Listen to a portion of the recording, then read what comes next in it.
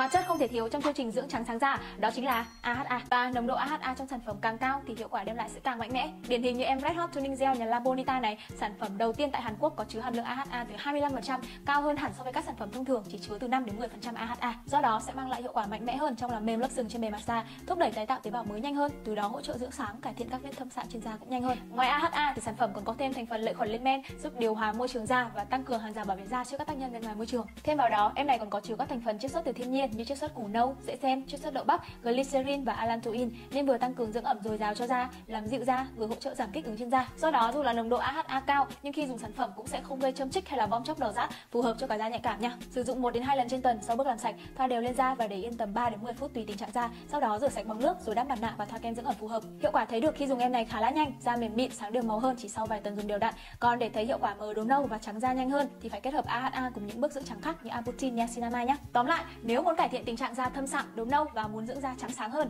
thì đây là một sản phẩm không nên bỏ qua nha.